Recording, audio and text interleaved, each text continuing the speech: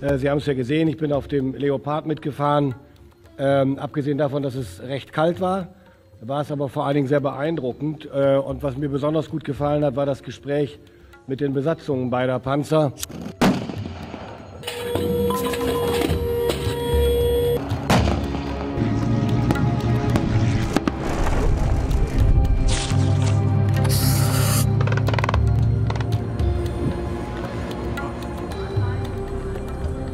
Entscheidend ist für mich die, die, Tatsache, dass wir neue Panzer bestellen müssen. Und zwar nicht in einem Jahr, sondern schnell, damit die Produktion beginnen kann und wir planen können.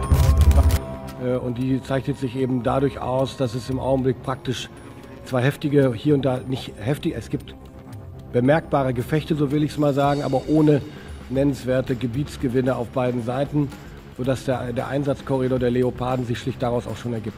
Die 2 des Panzerzugs über die Anhöhen hinweg angreifen.